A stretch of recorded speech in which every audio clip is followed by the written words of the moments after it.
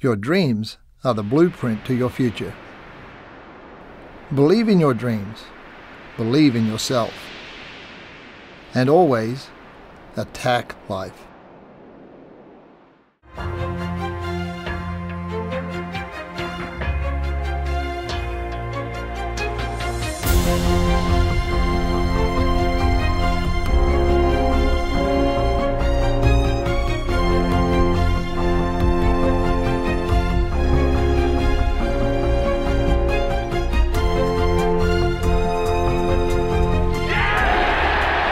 Done. I'll echo that. Well done, Greg. Oh, look at that.